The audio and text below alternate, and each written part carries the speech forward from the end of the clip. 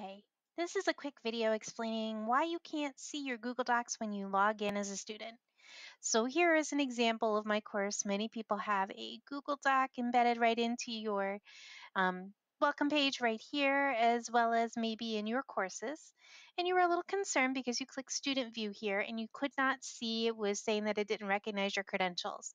That is completely normal. Let me pull up an example here.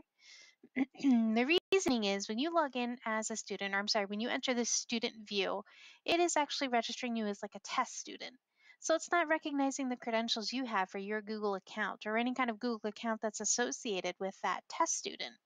So when you click on something like this Module 2 Lesson 2 assignments, it's going to give you this message here saying that you need to authorize it. Don't worry, you don't need to call tech support. It's never going to show that again because test student doesn't have Google credentials. So the only way to see it is if you're viewing it as yourself as a teacher. As long as you can see it as a teacher, you are fine. So please let me know if you have any other problems or questions.